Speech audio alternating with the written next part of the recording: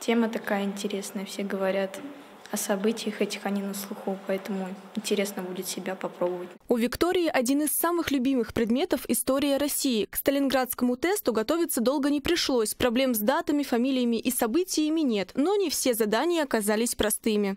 Для меня сложность составила опознать корабль и фотографию генерала. Максимально можно было набрать 34 балла. У ребят было 40 минут на прохождение теста. На каждый текст и на каждый э, экспонат, который представлен у нас на выставке. Ищем ответ.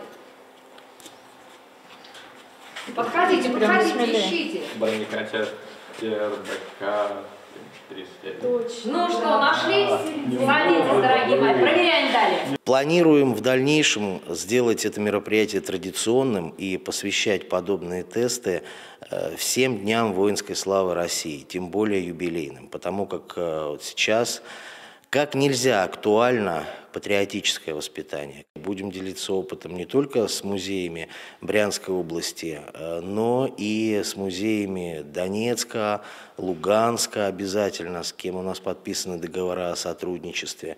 Э, Причем работаем мы с ними очень плотно. Я думаю, представители Донецкого республиканского краеведческого музея подхватят эту инициативу Луганского краеведческого музея. Просветительское мероприятие закончилось просмотром советского документального фильма об одном из крупнейших сражений Великой Отечественной войны – Сталинградской битве. Валентина Матвеевская, Брянский район.